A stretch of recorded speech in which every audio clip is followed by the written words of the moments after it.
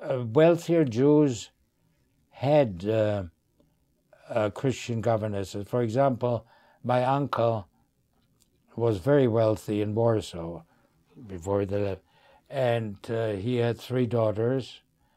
And when they went with us, their governess, well, almost went, but she went to work for another Jewish family, and and when the Nazis came and into Warsaw in 39, the parents of this boy, little boy, they left the boy in her care because they perished eventually.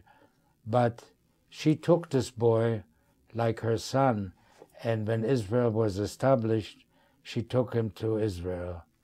And she is listed as one of the holy people of Israel.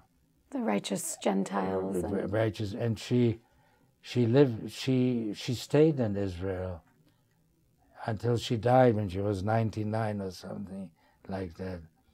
And so there were a number of people like this. It, uh, and I'm glad that they were honored.